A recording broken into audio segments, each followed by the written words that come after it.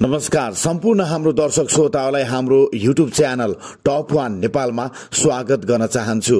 म छु भानुभक्त बस्नेत।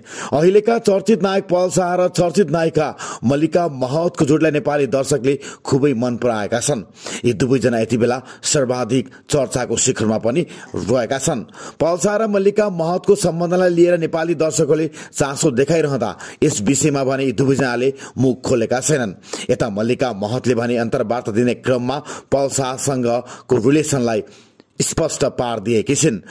नायिका मल्लिका महतले पल शाहसँग म्युजिक भिडियोमा खेल्न पाउँदा आफू असाध्य भाग्यवानी भएको पनि दावी गरेकी छिन्।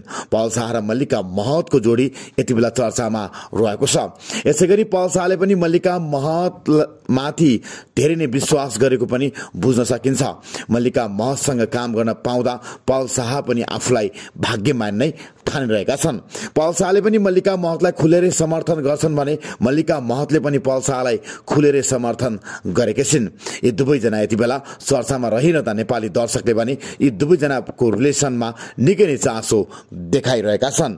चासो देखाइरहँदा यी दुवै बीचको सम्बन्ध के हो भन्ने कुरा अझै पनि प्रश्न भइरहेको छैन। यी दुवैजना यति बेला चर्चाको शिखरमा रहिरहेका छन्। आम नेपाली दर्शकले भने यी दुवैजना सँगै हुनुपर्छ भन्दै माग गर्दै आइरहेका छन्।